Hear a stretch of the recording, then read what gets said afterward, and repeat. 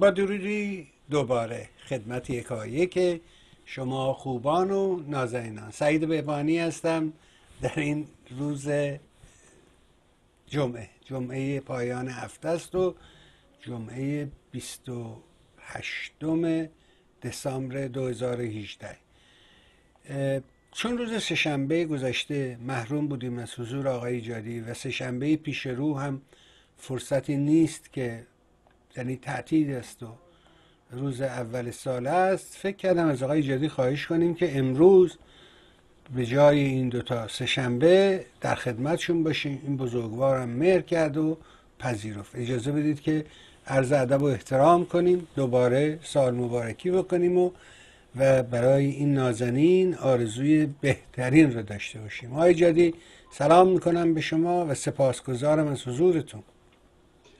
درود بر شما جناب آقای بهبهانی. امیدوارم که خوب باشید و من هم این سال برحال جدید میلادی رو به شما تبریک میگم.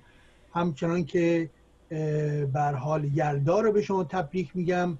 ما تا اونجا که امکان داره از همه امکانات مربوط به جشن ها باید کمال استفاده رو ببریم. بله یقینا این کار رو خواهیم کرد. اجازه بدید که آقای ایجادی از خبرهای خوب شروع کنیم. یعنی اینکه مرگ آشمی شارودی خیلی تقلا کردن اون رو به آلمان فرستادن در کلینیک آقای پروفسور سمیعی اون هم خیلی تلاش کرد. بعد هم حتی به ایران رفت. ولی چاره ساز نبود. بالاخره این آدم رفت. یه آدم عراقی که اصلا ربطی نداشت شهر احوال زندگیش نشون میده که اصلا نه ایرانی بوده نه به ایرانی کار داشته. حتی با خمینی هم ارتباط نداشته. ولی از بعد از خمینی و جنگ ایران و عراق و دشمنی خمینی با صدام این در کنار حکیم مجلس اعلا و این حرفا رو درست کردند و بعدم چون خامنه ای هیچ کس رو نداشت و آدم بی سوادیه تو کار خودش این رو به عنوان یک کسی که معلمش بشه بهش درس بده چون می‌دونین که تو همون روزگار رفتن یه پیرمرد کرکوری به نام آیت الله عراقی صد سالش بود کشیدن آوردن که او شهادت بده که آقای خامنه ای مرجع و مشتهده و می‌تونه بشه ولی وقی مرگ این آدم یه تکونی ایجاد کرده. تأثیرش رو می‌خوام از زبان شما بشنوم. چه اتفاقی تو این نظام جمهوری اسلامی داره میفته؟ برای اینکه بالاخره این نسل اول انقلاب که همشون وقتی هم که انقلاب شد میان سال بودن. دیگه الان دوران کولت رو دارن طی می‌کنن. چی می‌بینی این وضع؟ این نسل اول که برود چه اتفاقی داره میفته ولی نسل اول انقلاب انقلاب اسلامی هم در واقع اینا سختجان هستند به خاطر اینکه علیرغم سنهای بسیار بالا کماکان در عریکه قدرت نشستن و تمام ریزکاری های این قدرت رو در واقع زیر به صلاح حکرانی خودشون قرار دادن اونها رو کنترل می‌کنن.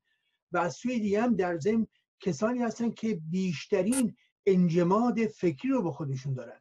این فرد و یا مانند افرادی مانند آقای آقایون جنتی و خود آیت الله خامنه ای اینها افرادی هستن که اگه ما دقت بکنیم بسیار بسیار دارای ارتجاع فکری هستند و به مسائل اسلامی خودشون و احکام شیعه خودشون به شدت وابسته هستند و جلوی هر گونه تحول فکری رو در جامعه می‌خوان بگیرن اینها. اینها در واقع پاسداران راستین ارتجاع مذهبی فکری در جامعه ایران هستن و بنابراین هر کد از این مهره که از صحنه خارج میشه به حال اون بخش اولیه یا نسل اولیه تا یه حدودی ضعیفتر می‌کنه. البته امیدی به این نیست که مثلا نسل های بعدی اینها کسانی باشن که در درون سیستم موجود یک تحول عجیب و غریبی به وجود بیارن. ولی که به هر حال اینها کلیدها و یا حال اهرم های اصلی همین قدرت هستند و همونطور که اشاره کردید آقای محمود هاشمی شاهرودی هم که در واقع در آخرین موقعیت و مقامش رئیس به اصطلاح مجتمع مجمع تشخیص مسلحت بود و مسلحت نظام بود. و این فرد در واقع کسی بود که بسیار نقش کلیدی در این سیستم جمهوری اسلامی بازی می‌کرد و به عنوان هرچند که البته در این دوران در ضمن دستخوشی بیماری های گوناگون بود و سعی کردن که اونا نجات بدن ولی که به ما یادمون باشه که کسانی که به در چارچوب مجمع تشخیص مسلحت نظام هستن وظایف چی وظایف اینها چیست؟ وظایف اونها در واقع ارائه مشاوره به خامنی در سیاست های اساسی و کلان مربوط به نظامه. و تصمیمات اگر چنانچه به تصمیمات مجلس رو اونها فکر کنن که به حال مخالف با موازین به اصطلاح اسلامی هستش چنین مجمع تشخیصی می‌تونه مداخله بکنه و جلو اونها رو بگیره. و یا زمانی که اختلافی باشه در ارتباط با مسئله شورای نگهبان و مجلس اینها مداخله می‌کنن که به این ترتیب به نفع خودشون و نظامی که مورد نظرشون هستش مسائل رو جلو ببرن و یا به فرض در نظر بگیریم در ارتباط با اختلافاتی که در ارتباط با مسئله قانون اساسی می‌تونه روی بده و خامنه ای این به مجمع تشخیص مسلحت نظام رو یکی از مسائل بسیار بسیار کمکی مهمی براش بوده و در زمینه های مختلف از جمله زمینه قانون اساسی یا مباحث دیگه پیوسته اینها به هم اتکا کردن. و جالب این هستش که این رو باز بدونیم که اعضای مجمع تشخیص خودشون در دو دسته قرار دارن.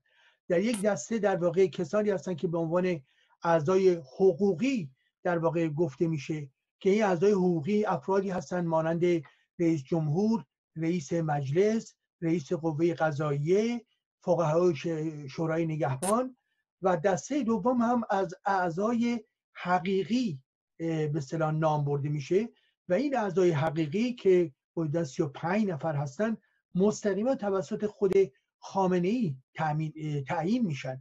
و بنابراین حال چه اونهایی که اعضای حقوقی هستند و چه اونهایی که اعضای حقیقی هستند در نهایت ام همه اینها توسط اون دیکتاتور بزرگ در واقع تعیین میشه.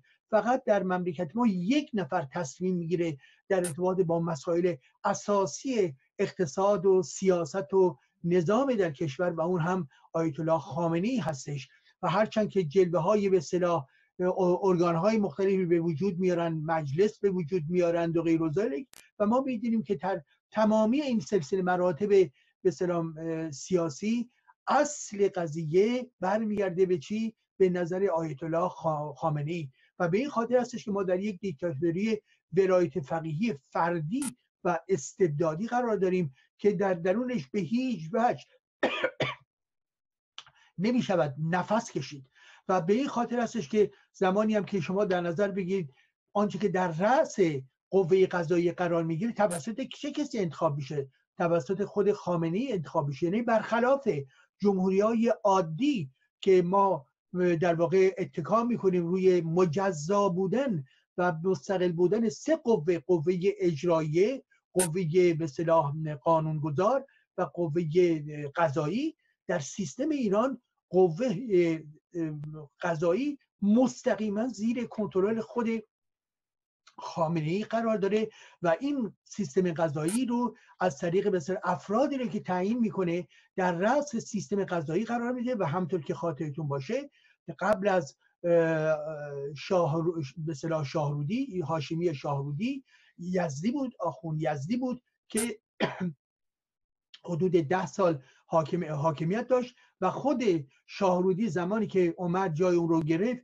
گفتش که در واقع قوه قضایی ایران به ویرانی تبدیل شده است و پس از اون در واقع شاهرودی اومد و این به اصطلاح قدرت یا قوه قضایی رو زیر کنترل خودش قرار قرار داد هرچند که اعلام کرد که ما در واقع یک سلسله رفرم هایی هستیم و این حرفا ولی بر اساس گفته های متخصصین و بر اساس گفته های وکلایی که در ایران کار می‌کنن در واقع کماکان اون سیستم اهریمنی و سیستم ایدولوژیکی باقی موند. سیستم غذایی در ایران یک سیستم ایدولوژیکی و دینی هستش. یک سیستمی هستش در خدمت قدرت حاکمه. یعنی آنچه که مهم هستش هر گونه مزاحمتی رو از طریق در واقع قوه قضاییه اینها باید دفع بکنن. و هرگز یک به سلام نظام مستقلی نیست. و به همین خاطر زمانی که شما توجه می‌کنید می‌بینید که در رأس این قوه قضاییه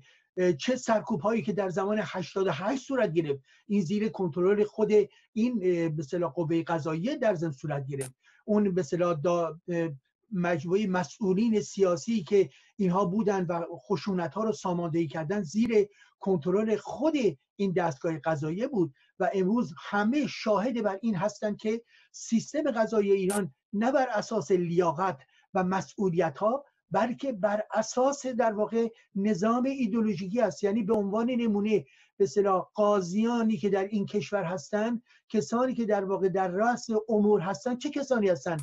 از طریق طلاب و آخوندهای حوزوی اینها تامین میشن. یعنی کسانی که آمدن به فرض درسی خوندن و آمدن در درون حوزه ها قبل از اینکه مسئله قانون گذاری و مسئله قضاوت و مسئله قانون به مفهوم مدرن خودش مطرح باشه قبل از هر چیز برای اونها برای این طلابی که در نقاط مختلف این هرمه به سر قضایی قرار گرفتن آنچه که مهم هستش همون در واقع شریعت اسلام همون امر قرآن هستش و هیچ رابطی با قانون مدر و به صلاح دادگاه های دارای صلاحیتی که مورد اعتماد بین باشه اینها نیست. و به این خاطر هستش که این سیستم غذایی کماکان در سیستم در واقع ایدولوژیک خودش باقی موند و هرگز نتوانست اون استقلال یا حال در زمان شاه هم البته مداخله هایی درش صورت می‌گرفت. ولی که به مرور تا یه حدود زیادی سیستم دادگاهی ایران تا یه بخش مهمی متعادل شده بود با به سلام معیارهای جهانی. حال آنکه از زمانی که انقلاب اسلامی صورت گرفت و به خصوص دوران بعد همه با تصفیه هایی که اینها انجام دادن به مراتب این خانه ویران شد و بنابراین دادگاه هایی که هستند و مجموعه قدرت قضایی در ایران در واقع در خدمت قدرت سیاسی و دینی رهبر به جمهوری اسلامی ایران قرار داره و ایشون حالا به حال بعد از اینکه به صلاح ایشون رفتن یا به هر حال دورش تموم شد همونطور که خاطرتون هستش. البته کسانی که امروز هستن از جمله به صلاح آقای به صلاح لاریجانی هستش و لاریجانی هم به تب همون راه و همون روش رو ادامه میده و امروز بحث بر سر این هستش که اگر چنانچه ایشون باید مورد به صلاح جانشینی این فرد باید تعیین بشه یعنی مشخصا خود هاشمی شاهرودی چه کسی جای اون رو خواهد گرفت و همطور که در روزنامه ها ما شاهدش بودیم مجددا افرادی که مورد نظرشون هستش یا به صلاح موحدی موحدی کرمانی هستش ابراهیم رئیسی هستش صادق عاملی لاریجانی هستش حسن روحانی هستش قالیباف هستش و اینها همه در سران این رژیم اختاپوسی هستند و بنابراین ما هرگز نمی‌توانیم انتظار استقلال قوه قضایی در ایران رو داشته باشیم. همه اینها آخوندهایی هستند که فقط و فقط خدمت می‌کنن به نظام دینی در ایران و نظام ولایتی فقیهی در ایران. ولی به حال اینها هوای همدیگر رو دارن و یک کسی هم که از دور خارج میشه در مجموعه ذخیره هایی که اینها دارن آدم ها رو از یک نقطه بر میدارن به یک نقطه دیگه می‌گذارن و بنابراین سعی می‌کنن که تمامی قدرت هایی رو که در کنترل خودشون دارن با گذاشتن آدم های خودشون کماکان ادامه کاری اونها رو جبران بکنند بسیار ممنونم. ارزم به حضور شما که اشاره می‌کنی به اینکه اینا چجوری عمر زیاد برای اینکه هیچ کاری نمی‌کنن خب. اینا بهترین غذا رو می‌خورن. این مهدی جلالی که الان معروف شده به مهدی جلالی تهرانی برای من تعریف می‌کرد که پدرم پدرش آخوند بود. می‌گفت پدرم با من دعوا می‌کرد که پسر تو چه آدم احمقی هستی؟ خب این کارا چیه می‌کنی؟ بیا من دوم چلوار میبندم دور کلن. مثل آدم زندگی کن. گفت راست می‌گفت پدرم ییلاق به موقع قشلاق به موقع به هر جایی که دعوتش می‌کردن بهترین غذا رو بهش می‌دادن. تازه بابام غور می‌زد. من که بچه اون بودم هر جا می‌رفتم بهترین اسباب بازی رو برام میوردن تازه آقا جونم غور می‌زد به صابخونه. بهترین تریاک رو جلوش میذاشتن. می‌گفت اینا آشغاله بدبخت صابخونه باید میده هیچ قصه ندارن و آدمایی که اصلا اهل فکر نیستن. فقط به فکر از آثارشون پیدا شما کتاباشون که می‌خونی فقط راجع به شکم و آداب خلا و چجوری با بچه شیرخواره سکس کنید چجوری همش راجع به ایناست. هیچ که فکری به حال جامعه به حال روشن کنن اطلاع بدن. اینها که نیست که یه سری حرفا رو از گذشته تکرار کردن. بنابراین عمر طولانی می‌کنن. حالا که چل ساله قدرت رو به طور کامل تصاحب کردن. در جایی اشاره می‌کنی که خامنه ای به همه امور حتی شما نگاه کنید الان این بودجه بودجه رو بردن. آقای خامنه ای گفته نه بیارید من اول نگاه بکنم. آخه این که کارشناس بودجه نیستش اون یه رشته تخصصی تو حسابداری بودجه و برنامه نویسی این گفته نه چیه این صحنه بودجه رو چجور تعریف می‌کنید شما؟ بفرمایید تا بشنوید بله بودجه ایران همونطور که ما می‌دونیم به هر حال در اساس خودش واقعا یک بودجه مذهبی و نظامی هستش. یعنی چی وقتی این رو میگیم؟ یعنی این معنا هستش که بودجه در خدمت مردم در خدمت بهداشت سواد آموزی در خدمت رفاه مردم واقعا قرار نداره. ببینید بودجه ایران چه میزانی هستش.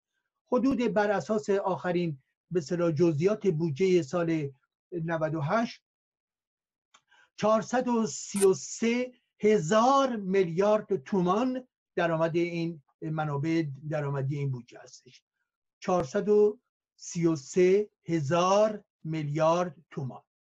که بناگزیر این هم معادلش در مقابلش به اصطلاح هزینه ها قرار می‌گیره. بودجه در دو به اصطلاح تابلو هستش یک طرف درآمدها از طرف دیگه هم هزینه ها خب درآمدها اینها از کجاست؟ درآمدهایی که خودشون اعلام کردن از محل مالیات ها هستش مالیات هایی که به مردم میبندن و واگذاری ها هستش و همچنین نفت هستش و بر اساس به صلاح صحبت هایی که روی مسئله نفت میشه حدودا در نظر گرفتن که چیزی حدودا بین 27 درصد تا 30 درصد به صلاح درآمد برای بودجه ایران از محل نفت خواهد بود. خب این یعنی چی؟ یعنی اینکه به حال انتظار اینها هستش که به به اصطلاح بشکه های نفتی خودشون رو بفروشن. و البته از اونجایی که تا یه حدودی محتاط خواستن عمل بکنن گفتن که ما در ابتدا گفتن یک میلیون ولی که خودشون باز مجددا اعلام کردن که ما به تخمینمون رو بر پایه یک و به اصطلاح یک و نیم میلیون قرار میدیم یک و نیم میلیون بشکه که از این طریق بشه به هر حال اون یک سوم درآمد مربوط به بودجه رو تعمین بکنیم. البته این مسئله چه بسا خوشبینانه باشه به خاطر اینکه ما همیشه روی قیمت بشکه ها به صلاح تسلط نداریم. مجموعی از عوامل گوناگون در واقع مداخله می‌کنن و می‌دونیم که در این یک سال اخیر میزان قیمت های بشکه ها بالا رفت تا به صلاح حدود دو سال پیش تا حدود 120 دلار رسید و پس از اون سقوط کرد تا حدود حتی 45 دلار هم رسید که الان مجددا در حال رشد هستش و در حال بالا رفتن هستش. بنابراین یک نظام یویو بر اساس به صلاح هم حوادث نظامی سیاسی که صورت می‌گیره و هم به هر حال خود حرکت بورس هستش که اینها در واقع دارای نوسان هستش و بنابراین یک دولت به طرز قاطع نمی‌تونه روی مسئله درآمدهای نفتی تاکید بکنه. و از سوی دیگه ما باز توجه بکنیم درآمدهایی که ایران می‌تونه یعنی بودجه ایران می‌تونه داشته باشه درآمدهایی هستش که مربوط به بنیادها هستش مربوط به آستانهای مانند آستان به قدس رضوی هستش که اساسا اینها هیچ گونه مالیاتی به دولت نمیدن هیچ کسی کنترل بر اونها نداره. اصلا نمی‌دونیم که در درون این نظام اقتصادی بنیادها و آستانها چه می‌گذارد. در واقع امپراتوری هست امپراتوری مالی که در درون این نظام جمهوری اسلامی هستش. به عنوان نمونه در ارتباط با خراسان که در واقع یکی از ثروتمندترین به صلاح کانونهای ثروت در ایران هستش. این به صلاح کانون ثروتمند خراسان به صلاح به حول آرامگاه یا به حال قبر امام رضا. شما یک میزان بسیار بسیار پولهای سنگینی در واقع وارد این نظام میشه و به طب سیاست بودجه ایران از این امر هیچ گونه بهره نمی‌بره به خاطر چی؟ به خاطر اینکه ما می‌دونیم آنچه که در خراسان میگذره در کنترل زیر کنترل مستقیم خود خامنه ای هستش و این رو در ارتباط با خود نظام آخوندی و نظام در واقع خودی ها در واقع نگه میداره که از در واقع دسترس مجموعه به سیستم دولتی و هزینه هایی که از این کانال باید صورت بگیره دور باشه. و از سوی دیگه خب ما نگاه می‌کنیم. پس بنابراین آنچه که به عنوان درآمدها هستش این درآمدها به نظر من باز شدیدتر روی مسئله مالیات ها خواهد, خواهد چرخید. به خاطر اینکه به حال تنها وسیله که برای رژیم وجود داره از اونجایی که روی مسئله نفت کاملا نمی‌تونه اتکا بکنه مگر اینکه شانس به سراغش بیاد ولی به حال نقطه مرکزی فشار روی خود مردم و به هر حال شرکت های غیر دولتی هستش که در ایران کار می‌کنه و همچنین مالیات های غیر مستقیمی که از طریق اجناس در به به دست دولت می‌رسه. خب حال درآمدها چیست؟ اینها هستش. ولی آنچه که هزینه هستش اون هزینه ها کدامن؟ هزینه ها البته بسیار گسترده هستش. من دلم می‌خواد در این بحث امشبمون فقط به چند نکته بخوام توجه بکنید دوستان گرامی. و اون که به عنوان نمونه به عنوان نمونه ببخشید لیست اینها کمی درازه ولی به هر حال دقت بکنید. مرکز خدمات حوزه علمیه 600 میلیارد تومان. شورای عالی حوزه علمیه 440 میلیارد تومان. جامعه المصطفى العالمیه 300 میلیارد تومان. حق بیمه طلاب و آخوندها 296 میلیارد. شورای سیاستگذاری حوزه علمی خواهران 258 میلیارد. نهاد رهبری در دانشگاه ها 129 میلیارد. شورای هماهنگی تبلیغات اسلامی 47 میلیارد. مجمع جهانی اهل بیعت اهل بیت ببخشید 47 میلیارد. صندوق توسعه فرهنگ قرآنی 40 میلیارد. مجمع جهانی تقریب مذاهب اسلامی 37 میلیارد. نشر آثار امام خمینی 26 میلیارد. راهیان نور 22 میلیارد. آستان مقدس امام خمینی 18 میلیارد. ستاد اقامه نماز 18 میلیارد. مرکز تحقیقات کامپیوتری علوم اسلامی 16 میلیارد. مراسم ارتحال امام 9 میلیارد. تمام این لیست 15 موردی که من خدمتتون خوندم تمام این بودجه ها بودجه هستش که دینی و مستقیما در خدمت آخوندها و نظام حوزویه در ایران قرار داره. شما اگر اضافه بکنید بر این بودجه های مانند رسانه های دولتی ایران رو هم باز در همین مسیر قرار بگیره شما نگاه بکنید این همه پول میلیاردها میلیاردها تومان صرف چه چیزی خواهد شد؟ همون بحث قبلیمون که اینها کسانی که در واقع جریانی که بر رأس حکومت اسلامی قرار دارن اینها در واقع آخوندهایی هستند که از یک به عنوان یک طبقه کاملا مزر ولی طبقه راندخار طبقه که در واقع جز از طریق چپاول جز از طریق قنیمت بردن به شیوه زمان پیامبر اسلام. اینها بر سر قدرت آمدن و تمامی قدرت و هوش خود رو روی این قرار دادن که چگونه از مال و اموال مملکت ایران و ملت ایران سوء استفاده بکنن و خود رو بیش از پیش چیکار بکنن؟ در واقع سیراب بکنه از این مجموعه قارت هایی که داره صورت می‌گیره. شما یک نکته توجه داشته باشید. من فقط واقعا یک نکته رو فقط یک مثال خدمتون عرض بکنم. سازمان محیط زیست ایران چه بودجه اینها در نظر گرفتن؟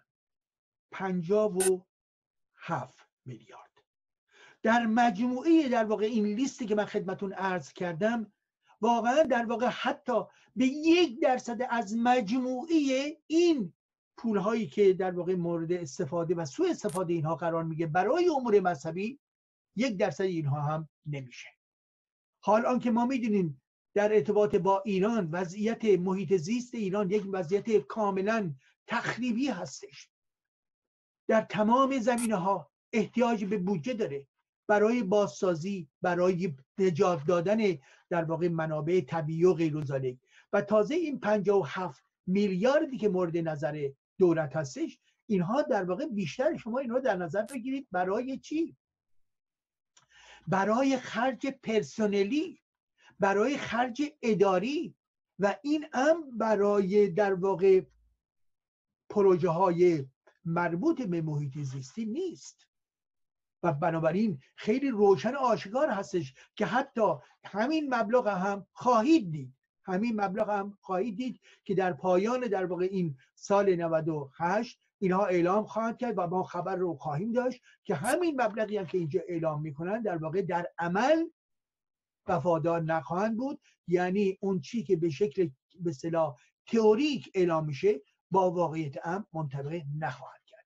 و به این خاطر هستش که ما می‌تونیم در نظر بگیریم. خب بالاخره این سیستم اختاپوسی در ایران عمده بودجه روی سیستم های نظامی و مجموعه دستگاه های نظامی ایران هستش. عمده بودجه ایران روی مسائل مربوط به چی؟ به مسائل مربوط به همین امور اداری به دینی و غیر هستش.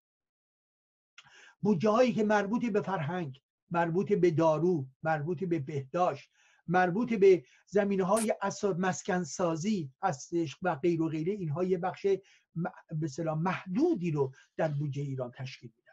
و به این خاطر هستش که ما در واقع هر سال همین ماجرا تکرار خواهد شد. همین من وقتی نگاه می‌کنم و مقایسه می‌کنم با سالهای با سال گذشته همین خطوط عمومی همین است. منتها اعلام کردن که برخی از بودجه افزایش پیدا کرده. اون جایی که بودجه ها افزایش پیدا کرده عمدتا بودجه های در واقع دینی و بودجه های نظامی هستش. و به این خاطر هستش که ما در واقع در شرایط بسیار بدی قرار گرفتیم و این شرایط بد نتیجهش نتیجهش باز هم فقیر شدن ملت ایران هستش. به خاطر اینکه شرایط اقتصادی که رونق نداره تورم که قوقا می‌کنه ارزش پول که در واقع در حال پیوسته فرو ریختن هستش. با مناسبات بازرگانی خارجی که در واقع شرایط مناسب نیستش و رو به راه نیست. و این هم, هم به هر حال مالیات از این مردم خواهند گرفت. پس بنابراین نتیجه ام چیست؟ نتیجه ام در واقع فقیرتر شدن بیشتر مردم هست یک بودجه زمانی که اجازه نداره شکوفای اقتصادی به بار بیاد زمانی که اجازه نداره در واقع صنایع به کار بیافتن زمانی که اجازه نداره در واقع در زمینه های بهداشت آموزش خوب به مردم رسیدگی بشه و برعکس مانند در واقع یک ویروس بسیار خطرناکی روی این بدنه جامعه افتاده و تمام بخش مهمی از این بودجه در راه نظامیگری در راه تمامی اقدامات نظامی جمهوری اسلامی در خاور میانه رسیدن به سوریه رسیدن به حزب الله به لبنان رسیدن به یمنی ها مجموعی شبکه ها شبکه هایی هستش که احتیاجی به پول داره. این پول از کجا میاد؟ از طریق همین پولی که باید برای مردم ایران استفاده بشه ولی به خارج کشور و در ارتباط با اهداف هژمونی طلبانه و اهریمنی در واقع خود جمهوری اسلامی در واقع به کار میره. پس بنابراین نتیجه کار برای جامعه ایران این بودجه مانند بودجه قدیمی بودجه در واقع نظامی بودجه در واقع جاسوسی بودجه در واقع سرکوب و بودجه هست در خدمت اسلام و در خدمت منابع حوزوی. پس بنابراین آنچه که برای مردم ما میماند در واقع فقر و فلاکت بیشتر چیز دیگه نخواهد بله. ممنونم از شما. واقعا فلاکت باره یعنی اشاره کردین به قیمت نفت بالا پایین شدن. خیلی از کشورها این پول رو به یک صندوقی می‌ذارن و در نتیجه برای روز مبادا و برای گسترش و توسعه کشور کار می‌کنن من یادم در سالهای 1970 وقتی که این نفت شمال پیدا شد و توی دریای شمال بین انگلستان و نروژ خب نروژی ها از نفت استفاده می‌کنن ولی پول اون رو یعنی خزانه دولت رو از راه توسعه صنعت مالیات صادرات اینا تأمین می‌کنن و پول نفت رو در جهت کارهای عمرانی و زیر ساخته ازش استفاده می‌کنن. بخش اعظمش رو تو سرمایه گذاری های بلند مدت. ولی ایران متاسفانه امروز می‌دیدم که دوباره یه آدمی رو بعد از اعدام ها دوباره یکی رو دراز کردن به عنوان نمی‌دونم اختلاس می‌کرده تو بانکی در کرمان. وام می‌داده وام می‌گرفته. اینم اعدام کنیم. اعدام که مشکل حل نمی‌کنه که. مشکل رو باید جای دیگه دنبال کرد. اشاره کردید به وضعیت اینکه اینها پول رو در جای دیگه خرج می‌کنن خب الان یه زلزله ای توی منطقه ایجاد شده. آقای ترامپ به ناگهان اعلام کرد که از سوریه نیروهاشو خارج می‌کنه. این باعث شد که وزیر دفاع آمریکا که یه رکن مهم از ارکان دستگاه ادمنستریشن آمریکا یکیش وزارت خارجه است یکیش کاخ سفیدی یکیش همین وزارت دفاع یا پنتاگونه. این آقای ژنرال کهنکار یک نامه شدیدی به عنوان متن استعفا نوشت و بعدم فرمانده نیروهای اطلاف با عصبانیت روز بعدش استعفا داد. گفت آقا اینجوری نمیشه من با ناتو حرف زدم این آقا یه کار دیگه می‌کنه. و این گزارش ها رو این آقا نمی‌خونه. به حال ماجرا این هستش که آمریکا نیروهاشو از سوریه گفته میارن بیرون. روز سهشنبه هم ایشون وارد عراق شد. در مورد عراق هم میگه می‌خوام بیایم بیرون. خب اسرائیلیا روز سهشنبه حمله کردند و مواضع ایران رو در سوریه زدن. مواضع حزب الله و ایران رو زدن. به سایت های سوریه و اینا کاری نداشتن. فقط هدفشون سایت های ایرانی بوده. آیا به نظرت ایران از سوریه خارج خواهد شد؟ آیا این خروج آمریکا از سوریه راه رو برای جمهوری اسلامی باز می‌کنه؟ آیا جنگی بین این جنگی که الان شروع شده در حقیقت بین ایران و اسرائیل این تا کجا می‌تونه ادامه پیدا بکنه؟ یه مجموعه پرسشه. خواهش می‌کنم تحلیلتون رو از شرایط موجود بفرمایید. بله شرایط بسیار پیچیده ای هستش و ما همه اطلاعات و داده های لازم رو نداریم. ولی برها بر اساس مجموعه این تحولاتی که میشنویم این هستش که آقای ترامپ زمانی که بر سر کار آمد و هنوز مسلط بر کار نبود در جستجو این بود که افراد گوناگون دور خودش جمع بکنه و به اتکای کارشناسی اونها و به اتکای لیاقت اونها سیاست های خودش رو در واقع به پیش ببره. ولی به محض اینکه بر حال اعتماد به خود رو پیدا کرد و شروع کرد در واقع سیاست ویژه خود رو که اون یک سیاست شخصی میشه به صلاح بیانش کرد رو در واقع بهش ارجعیت ببخشه و بنابراین برخلاف میل اون جمع و یا اون گروهی که در دور برش بودن عمل بکنه. اگر خاطرتون باشه و شما الان مطرحش کردید که به حال شخصیت های مانند جنرال جیمز ماتیس که وقتی که استعفای خودش رو مطرح می‌کنه این یک امر بسیار بسیار مهمی هستش که چگونه دستگاه آقای ترامپ قادر نیست در واقع مذاکره و صحبت های داخلی خودشون رو به نقطه‌ای برسونن که مورد اتکای نظامیان برجسته خود سیستم آمریکا باشه و عملا در واقع مجبور می‌کنه جنرال های برجسته مانند متیس رو در واقع از کنار خودش برونه و عملا اون رو مجبور به استفا بکنه. به طب اینجا اون که باید سوال کرد این استش که آیا واقعا در اینجا آقای ترامپ اون جنبه های خودبینی اون جنبه های شخصی اون جنبه های در واقع کاملا خودپرستی که داره عملا در تناقض با یک کار گروهی مربوط به دولت آمریکا.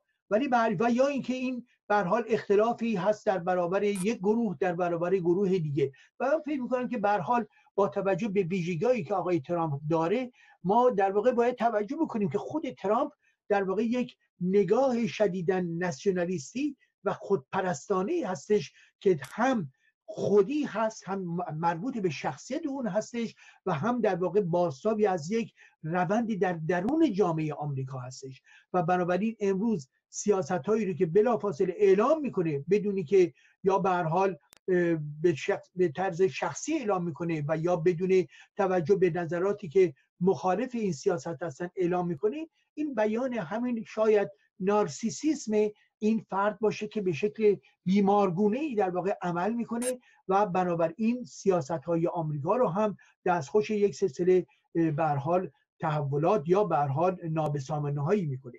امروز مسئله این هستش که در خاور میانه اگر ما نگاه بکنیم در افغانستان اول اگر خاطرتون باشه در افغانستان در واقع آمریکایی‌ها حدوداً چهار به چهارده هزار نظامی آمریکایی در کجا در افغانستان وجود داره. که این چهارده هزار نظامی که در افغانستان وجود داره آقای ترامپ اعلام کرده اخیرا که می‌خواد به نصف برسونه به هفت هزار نفر برسونه. و در کنار البته این چهارده هزار نفر هشت هزار نفر هم هستن کسانی که مربوط به به پیمان آتلانتیک شمالی همون ناتو هستند خب و زمانی که در واقع اینها از مملکت می‌خوان خارج بشن ما به حال بحث این نیستش که اونا باید باشن. ما داریم تحلیل می‌کنیم راجع به این مباحث راجبش داریم صحبت می‌کنیم.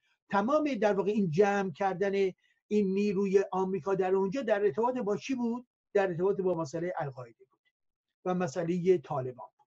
که بنابراین زمانی که اینها آوردن و تمرکز قوای خودشون رو در اونجا نگه داشتن خواهان این بودن که در واقع القاعده و طالبان رو در واقع از خود دور بکنن.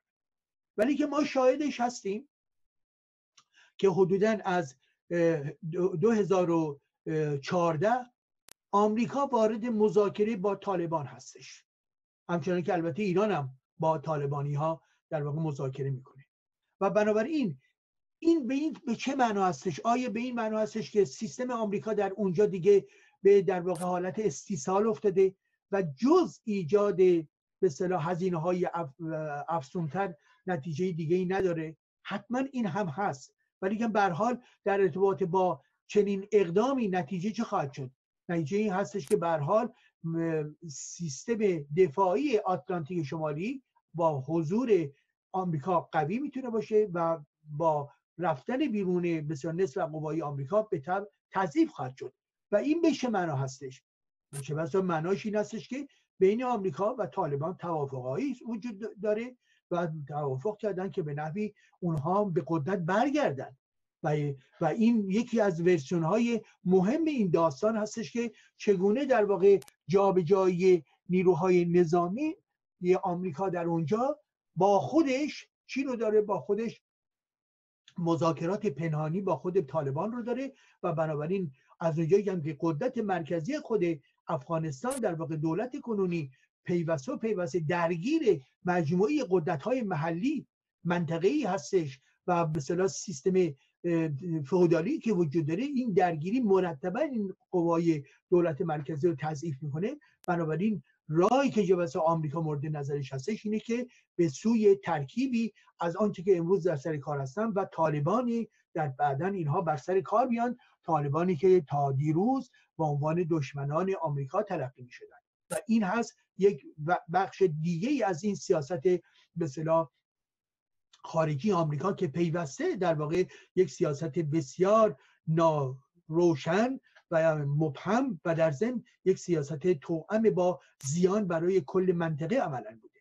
ولی در ارتباط با خود به سوریه به تب سیاست آمریکا در سوریه آنچه که اعلام کرده و خروج احتمالی نیروهای آمریکا تا ماه در واقع فوریه از سوریه این باز به چه معنا هستش؟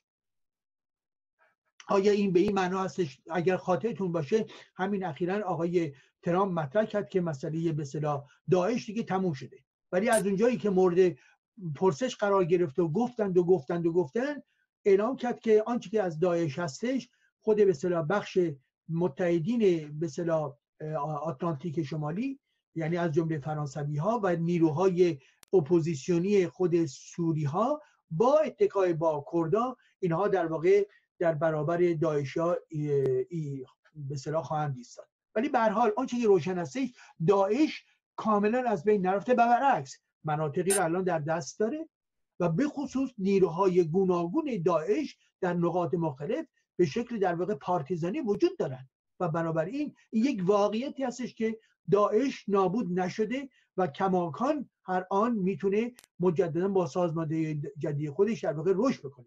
از سوی دیگه این حرکت آمریکا منجر به یک بازنگری گوناگونی در ارتباط با متحدین محلیش از جمله کردها خواهد شد.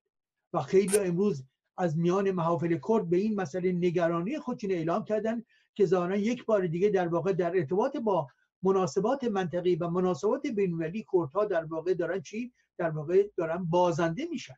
و این بازندگی به چه معنا هستش؟ به این معنا هستش که به ناگزیر اگر کردها تا این لحظه در واقع آمدن و فعالیت کردن و نقش مهمی در زن داشتن برای پس زدن داعشی ها اون هم به اعتبار چی؟ پوشش های هوایی آمریکا بوده. و حال اگر چنانچه آمریکا از این به سیاست خارج بشه به ناگزیر نیروهای کرد از دو زاویه مورد حمله قرار خواهند گرفت. از یک طرف در واقع داعشی ها و از سوی دیگه قوای ترک. و همونطور که ما بارها شنیدیم قوای ترک در واقع در بخش به شمال غربی سوریه حضور بسیار فعالی دارن و در خاک سوریه هستن و اون که مربوط به بخش شمالی و شرقی متا چیز هستش به خاک سوریه هستش عمدتا در دست کردها هستش و چه بسا سیاست به آقای آردگان بر پایه چنین چیزی هستش که چون اون نظرش این هستش که کردهای موجودی در سوریه در واقع اینها ادامه همون کردهای درون به خاک ترکیه هستند و قصد رژیم ترک بر روی زدن و تضعیف کردها هستش و ارتباط قطع کردن ارتباط اونها با کردها در داخل ترکیه. و به این خاطر هستش که برها دست بال اینها باز خواهد شد که روی کردها به شدت عمل بکنند و فشار بیارند. حال با توجه به این چه کسانی از این ماجرا عملا می‌تونن سود ببرند؟ آنچه که به ظاهر به هر حال روشن هستش این هستش که طبعا خود رژیم اسد به نحوی در واقع رژیم بشار اسد تا یه حدودی با خروج آمریکا یا با به قدرتی که تا به حال گرفته و با اتکای به نیروهای ائتلافی خودش مانند روسا و به قوای مشاورتی و نظامی ایران می‌تونه در واقع مورد توجهش باشه و مورد مثبت هستش. از سوی دیگه خود روسا روسا خود آقای پوتین اعلام کرده بود که بله یه امر خیلی جالبی هستش که سیاستی که آقای مثلا ترامپ اعلام کرده و مثلا این بخش از مثلا جهان این منطقه به سوی صلح می‌تونه عملا به پیش بره و از سوی دیگه هم در ارتباط با ایران هم ما در اینجا و اونجا شنیدیم که در واقع ایران بسیار از این مسئله به رضایت داره. زیرا می‌دونه که به حال ورود خروج آمریکایی‌ها اجازه میده که حضور در واقع قوای ایران بیشتر صورت بگیره. البته تا به حال اون نوعی همزیستی که دورادور صورت می‌گرفته امروز در واقع با بیرون شدن بخش مهمی از قوای آمریکا زمینه ها رو باز می‌کنه که ایران در اون نقاط در واقع حضور فعالتری داشته باشه. و به این خاطر هستش که در واقع من فکر می‌کنم که حال اگر در این ماجرا در واقع ایران و به روس ها تا یه حدود رضایت دارن آیا آیا این این معنا هستش که به نحوی نوعی توافقی صورت گرفته بین آمریکا و به ایران و همچنین روسا این به عنوان یک فرضیه می‌تونه واقعیت داشته باشه. حالا اینکه چرا آمریکا از اونجا خارج میشه این رو میشه در سه به سال مورد برخورد قرار داد یا مورد فکر قرار داد. یکی اینکه آیا واقعا یک ناسیونالیزم آمریکایی به این نتیجه رسیدی که فایده نداره که این همه به صلاح هزینه بده و بنابراین باید خارج بشه و بنابراین سیاست ترامپ یک سیاست در واقع ناسیونالیستی و متکی بر منافع خودی خودشون هستش و بنابراین باید عقب نشینی بکنه. یک. دو اینکه آیا سیاست آقای ترامپ چه در افغانستانش باشه چه در این منطقه باشه؟ از این این نتیجه رو می‌گیرن از این سالهای جنگ این نتیجه رو می‌گیرن که به هر حال نوعی شکست خوردن و بنابراین نمی‌تونن فراتر از این جلو برن؟ یا یک به حال به این بودن اونها جز به استفاده کردن از بودجه های نظامی برای منطقه‌ای که اونها چه بسا می‌خوان استراتژی خودشون رو به نحو دیگه انجام بدن نیست. و به این خاطر هستش که این دومی حالت و سومین حالت اینه که چه بسا توافقهای منطقی در حال صورت گرفتن هستش. توافقهای منطقی از یک سو با ایران و, و روسیه. و از سوی دیگه هم به حال این توافقها همیشه یک, به مورد برخوردهای گوناگون قرار میگه امروز آیا عربستان سعودی از این ماجرا سود می‌بره؟ چه بسا نه؟ آیا اسرائیل از این ماجرا سود می‌بره؟ چه بسا نه؟ ولی به حال اسرائیل خودش رو آماده کرده که با ایران مقابله بکنه و اون رو متکی می‌کنه بر قوای نظامی خودش و قدرت اتمی که در واقع در منطقه داره. روی این قضیه تاکید می‌کنه. و از سوی دیگه هم چه بسا؟ چه بسا؟ این اعلامی که آقای ترامپ کرده شاید عملا صورت نگیره یا به هر حال کش بیاد کش بیاد کش بیاد. از ماه فوریه و ما بگذریم و باز هم در واقع ادامه پیدا بکنه و به هر حال از اونجایی که سیاست های آقای ترامپ همیشه با یک نگاه عمیقی در واقع تو نیستش و زیگزاک های مختلفی می‌زنه که بسا این هم جزء اون زیگزاک های آقای ترامپ باشه. ولی به هر حال امروز لحظه ای هستش که ما به حال می‌تونیم بگیم در این گام در این لحظه معین اعلام سیاست آمریکا برای خروجش از منطقه مورد توجه به حال رقبایی مانند روسیه و ایران قرار داده و برای اونها به حال زمینه مستعدی باز خواهد شد که نقشه برتر و پررنگتری بگیرن حال اگر این چنینه اگر در واقع رژیم یعنی آمریکا عقب نشینی بخواد بکنه در مقابلش از ایران چه چیزی گرفته؟ یعنی این قراردادهای متقابلی که اینها می‌تونن پنهانی با هم بسته باشن از ایران متقابلا چه چیزی رو طلب کرده و چه امتیازاتی می‌گیره؟ این خود یک سوال مهمی است. بسیار ممنونم. ارزم به حضور شما که این خروج آمریکا از سوریه موضوع خیلی همطور که شما هم به درستی اشاره کردید پیچیده است. برای اینکه اولا اینا نیروی چندانی نداشتن ولی حیاهوش بیشتر از تعداد نیروشه. و حتی ببینید کار کجاست که روحانی در ارتباط با بودجه که می‌خواد بده به مجلس میگه اعتراضات دیماه سال گذشته در تحریم آمریکا موثر بوده. من ارتباط این دوتا رو با هم نتونستم پیدا بکنم. چه ارتباطی اینا با هم دیگه داشت. و بعد هم اون فشاری که در ابتدا از طرف دستگاه آقای ترامپ دیدیم و آقای پومپئو اومد یه دوازده تا خواسته رو مطرح کرد و رفت. دیگه ما بعدش هیچ سرصدایی رو نمیشنویم. و اینکه مردم در ایران در تقلا هستند و بالاخره باورشون برای این بوده که در 57 آمریکایی ها این بلا رو سر ما آوردن. حالا بعد آمریکایی ها بیان کمک کنن به ما. این حرف روحانی که نمی‌دونم آمریکا تحریمش رو بر اساس اعتراضات مردم زده آیا اصلا پای اساس داره؟ آیا واقعا آمریکا از اینکه کمک کنه به مردم که این نظام رو بر بیاندازن دست کشیده؟ فقط تغییر رفتار آرزوشه. چی می‌بینید صحنه رو؟ چون خودش آمریکایی ها گفتن که آقای ترامپ گفت این نظام چل سالگیش رو نخواهد دید. ولی امروز چنین نیست. ما می‌بینیم که یه جور دیگه حرف می‌زنه. من فکر کنم که ملت ها هرگز روی سیاست های خارجی قدرت های بزرگ نباید اتکا بکنن. و واقعا این درس بسیار بسیار مهمی هستش.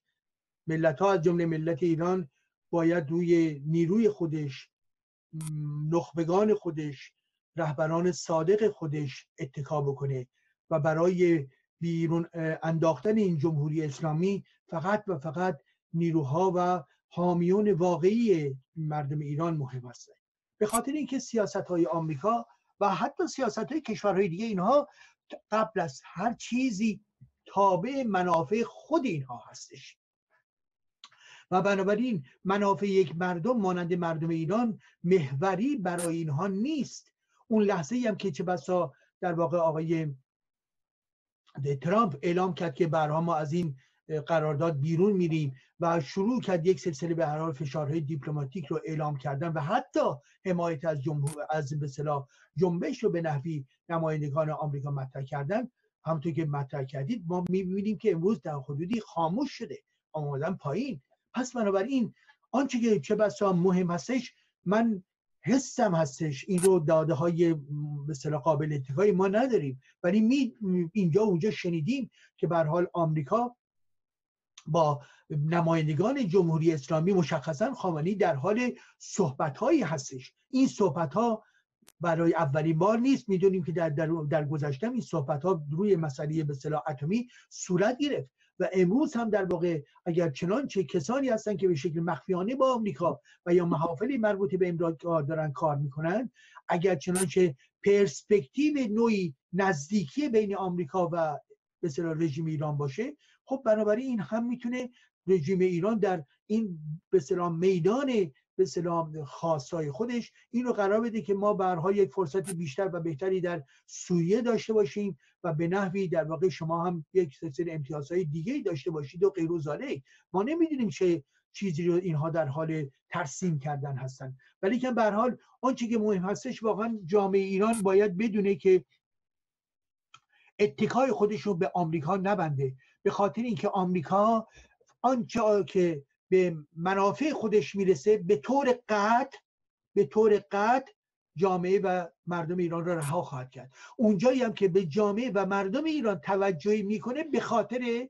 چی؟ به خاطر این هستش که در ارتباط با منافع استراتژیک خودش چنین به صلاح به صلاح فیگورها و یا به صلاح به صلاح رفتاری رو با خودش داره که به صلاح می‌خواد به جمهوری اسلامی بیشتر فشار بیاره.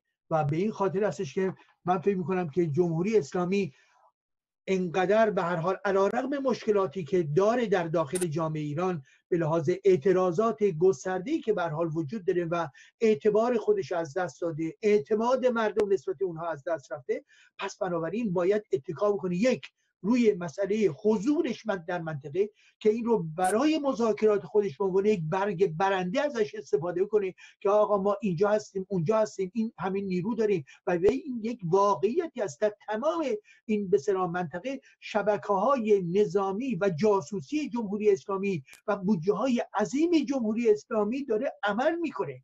خب برای آمریکا زمانی که فقط قوای خودش رو داره در برابر رژیم جمهوری اسلامی که مانند ماهی در این آب در واقع داره میچرخه خب به اون هم می‌تونه براش این بس باشه که تا چه میزانی این مقابل جویی رو باید ادامه داده برای اون یک هزینه سنگینی می‌تونه داشته باشه. پس بنابراین چه بسا امروز اینها به یک نتایجی به یک مذاکراتی پرداختن که این مذاکرات به نحوی به نفع دو رژیم یعنی جمهوری اسلامی ایران و آقای ترامپ باشه.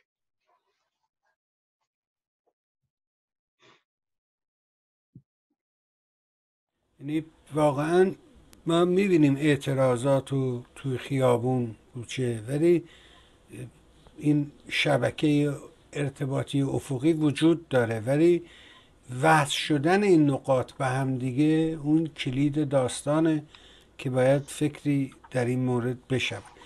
اجازه بدید که از شما تشکر کنیم آقای ایجادی. به خاطر یک سال همت شما اینکه از کلاس درس میای ولی اینجا شاداب و سرحال به ما کمک می‌کنی که از دانش و تجربه شما استفاده کنی. از شما نهایت سپاس دارم. حتی در دوره ای که به خاطر فقدان پدر غم بزرگ از دست دادن پدر رو داشتی. باز هم ما رو تنها نذاشتی. میهنت رو دوست داری. نشون میده اینا. اجازه بدید که باز هم از شما صمیمانه تشکر کنیم.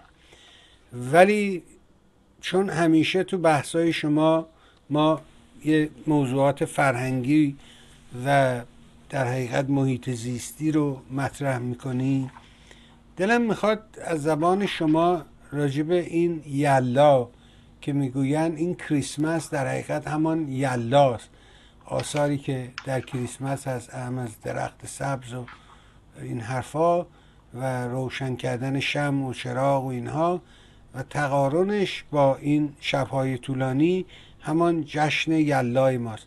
می‌خوام از زبان شما این روایت رو بشنوم. اتفاقی نیست اگر به صلاح شب یلدا شب چله با به صلاح جشن نوئل یا کریسمس در یک لحظه های, لحظه های مشترکی اتفاق میافته. اینها در واقع پیوند دقیق و درونی با هم دارن. ببینید ما می‌دونیم که به حال جشن نوئل که برای مسیحیان در واقع به عنوان به صلاح تولد مسیح اعلام شده. در واقع این ورسیون یا به این برداشتی که داده میشه واقعیت نداره و درست نیست. جشن پاک یا جشن نوئل و کریسمس از در واقع صده چهارم میلادی به عنوان به میلاد مسیح اعلام شد. حالا که از نظر مورخان و تاریخدانان اساسا ما در ارتباط با مسیح تولدشون نمی‌دونیم چه موقعی اتفاق افتاده.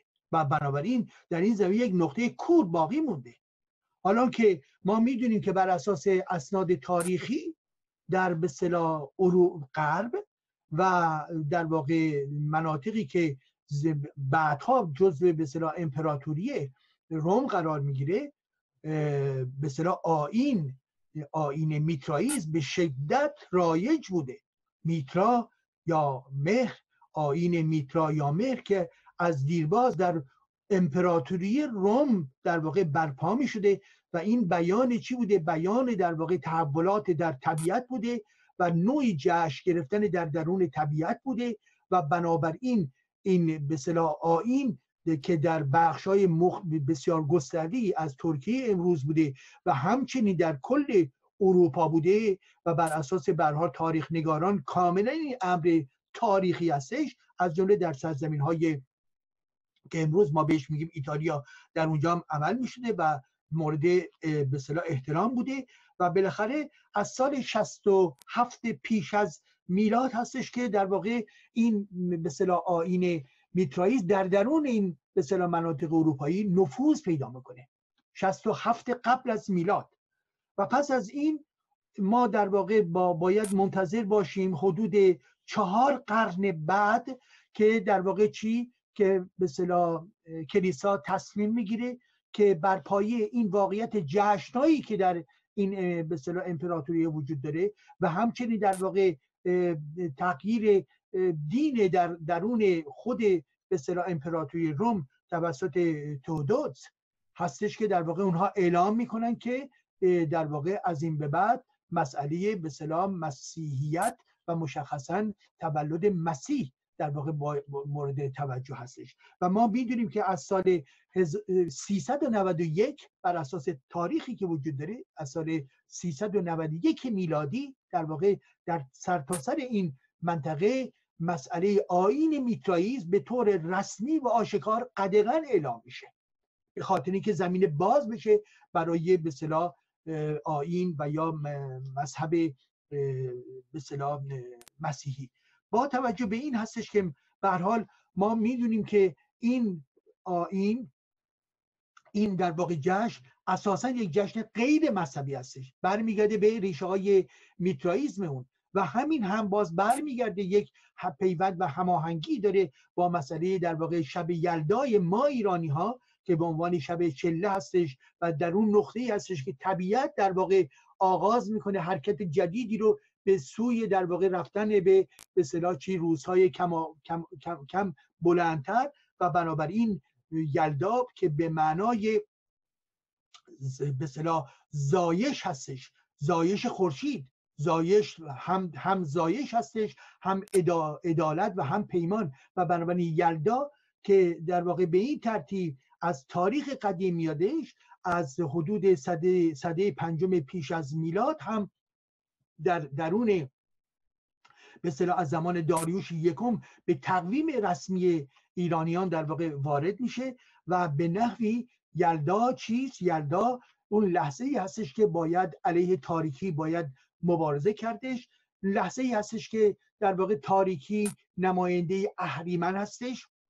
باید کمک کرد تا نور تا خورشید در واقع بیش از پیش غلبه بکنه بر این به صلاح تاریکی بر این دوره اهریمنی و به این خاطر هستش که در واقع به عنوان در این مراسم اگر خاطرتون باشه انار می‌خورن هندونه می‌خورن البته آجی رو غیر زالک می‌خورن ولی که یکی از باورهایی که که چرا انار و هندونه می‌خورن به خاطر اون قرمزی در واقع هندونه انار هستش و این قرمزی رو تجلی از همون روشنایی خورشید می‌بینن که این روشنایی خورشید باید ما رو در واقع ادام به کمک بکنه که بر چی؟ بر اهریمن و یا بر تاریخی در واقع غلبه پیدا بکنیم. و به این خاطر هستش که این به صلاح شب یلدا خود در واقع یک معنای دقیقا باز طبیعی داره رابطه با تغییر و تحولات در درون طبیعت هستش و نوعی در واقع جشن اکولوژیکی هستش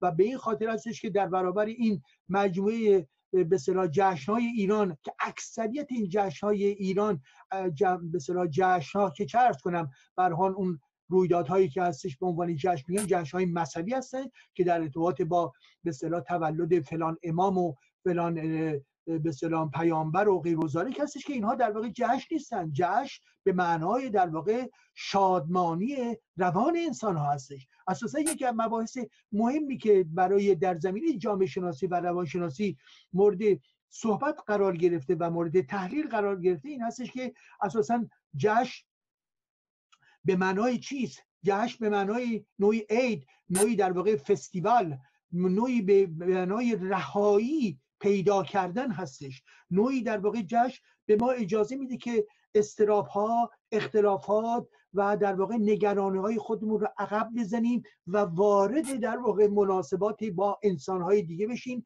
و در این لحظه جشن اون لحظه ای هستش که زمانهای قبل و آینده در واقع به نحوی منحل میشه و ما رو وارد زمان لحظه‌ای کنونی می‌کنه. یعنی از این زمان در همچنین لحظه استفاده ببر.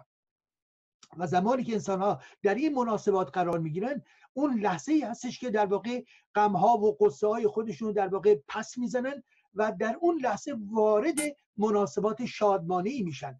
و جشن ها یکی از ویژگی جشن ها اساسا از در جامعه شناسی همین قضیه هستش و البته تحلیل های دیگه هم میشه کرد. از جمله اگر خاطرتون باشه مثلا فروید که در واقع از در تحلیل های خودش از لوموا لوسا و لوسوما صحبت می‌کنه. یعنی اینکه یک منافع فردی و نارسیسیزم افراد هستش. دو این به اصطلاح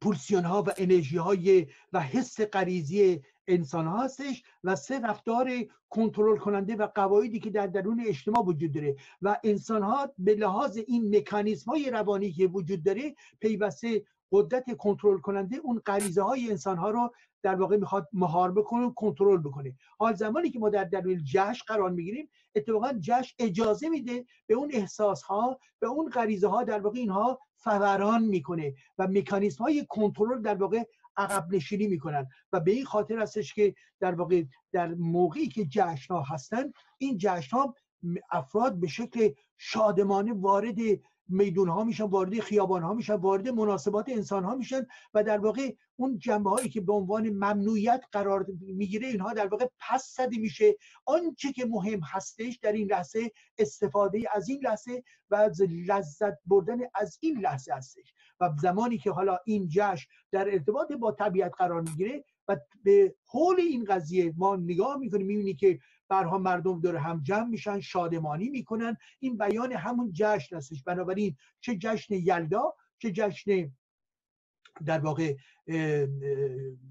به صلاح نوئل که دارای یک ریشه هستن. اون لحظه ای هستش که انسان ها می‌تونن با به صلاح تعلق خاطری که به ریشه های فرهنگی و طبیعت گرای اون دارن ازش استفاده بکنن و من فکر می‌کنم که واقعا یک ملت می‌تونه در واقع در زندگی خودش استفاده ببره از زندگی خودش زمانی که زندگی خودش رو در زن به جشن تبدیل می‌کنه. یعنی چی؟ یعنی که از این لحظه خودت استفاده ببر از این لحظه خود در واقع با انسانهای گوناگون وارد در واقع مناسبات شادمانه قرار بگیری و این بسیار مهم است برای روحی انسانها. انسانهایی که در واقع دپرسیون دارن انسانهایی که استرس دارن انسانهایی که در واقع دل مرده هستند اون انسان ها در لحظاتی که جشن ها به پا میشه اون لحظه در واقع اون دپرسیون و اون در واقع دلمردگی خودشون رو تا حدود زیادی پس می‌زنن. پس بنابراین معنای زندگی در زن چیز؟ معنای زندگی در زن این هستش که شادبانی ها رو در دل این جامعه در دل زندگی خودمون در واقع افزایش بدیم به خاطری که به حال به قول معروف ما یک بار بیشتر زندگی نمی کنیم حالا مراحل بعد از مرگ منی که باور به خدا ندارم معتقد هستم که من به در درون طبیعت به شکل‌های دیگه به حرکت خودم ادامه خواهم داد ولی که به معنای زمینی خودش ما در واقع یک بار زندگی نمی کنیم و از این زندگی که یک بار می‌کنیم باید کمال استفاده رو ببریم و در درون این زندگی از شادمانی های مختلفی برخوردار بشیم لذت ببریم و معنای زندگی رو با شادمانی در زم توضیح بدیم زیرا این موتوری برای ما می‌تونه باشه که در درون این جامعه بتونیم به سوی آینده به شکل بهتر و محکمتری نگاه بکنیم. بسیار ممنون و متشکرم. مضافم به این که این نظام حاکم خمینی خودش با دو لب مبارکش گفتش که ما هرچه داریم از گریه داریم. اینا اصلا یه می‌دونید در کلیمی هم هست. اصلا اونا که یه دیوار دارن و همه رئیس جمهور آمریکا میرن جلوی اون و میستن حقیق گریه کردن به نام دیوار ندبه مسلمان های شیعه هم که اصلا یه مراسم دارن به عنوان دعای ندبه جمع میشن که گریه کنن. یعنی به نظر من دشمن این اهریمن شادیه روشناییه و ما باید تا اونجایی که ممکنه این جشن ها رو از منظر مبارزاتی حالا فرهنگی اینا مسائل مهمی هستن. ولی از نظر مبارزه به نظر من باید اینا رو خار کرد چشم این دشمن و جشن رو باید بلند فریاد کشید. قهقه رو باید بلند کرد. درست عکس کاری که اون می‌خواد انجام بده. به روی هم بخندیم با هم شادی کنیم جشن بگیریم. اینا با جشن مخالفه. اینا همه یه زندگیشون از سر قبرقا آوردن. اینا مش گورکنن. به حال آقا بسیار بازم از شما تشکر می‌کنم. بسیار به ما مهر می‌کنی. که این فرجه رو در اختیار ما قرار میدی که بتونیم از تجربه شما از دانش شما استفاده کنیم. تجربه مهمه. شما یه کوهی از تجربه هستی. شما بالاخره در دوران جوانی آدم پسیو نبودی. یه فعالیتی می‌کردی تلاش می‌کردی برای رسیدن به یه دنیای بهتر برای اینکه آزادی به وجود بیاد. ایکوالیتی مساوات به وجود بیاد. ازت ممنونم. به حال برای شما از صمیم قلب بهتری رو آرزو می‌کنم. برای خودت عزیزانت خانواده محترم و گرانقدر و نواهای کوچولوت بهترین کریسمس و سال نو رو آرزو می‌کنم. دیدار ما به هفته آینده و سال نو. متشکرم آقای ایجادی نظری متشکرم. من هم به نوبه خود از قبل در واقع این سال جدید مسیحی که به حال میلادی که خواهد آمد رو در واقع به همه دوستان و آشنایان در واقع تبریک میگم. امیدوارم که این سال برای ما بر حال سالی باشه پر از شادمانی و سلامتی و دوستی های خوب در این جهانی که سخته ولی که ما به دوستی های محکم احتیاج داریم. موفق و پیروز باشیم ممنون از سپاس گذارم به حال شنیدین فرمایشات جناب آقای ایجادی نازن این که من تکرار می‌کنم روی این موضوع که این بزرگوار از کلاس درس میکوبه میاد خب اگه کار درس کرده باشی و تدریس و اینا می‌دونی کار سختی خیلی انرژی می‌بره. فقط باید دوست داشته باشی بتونی این کار ده معلمی. وقت اینا در ایران معلم و کتک زدن. اینا زنان معلم ما رو در اصفهان روشون اسید پاشیدن. گاز اشکاور اسیده. سمه.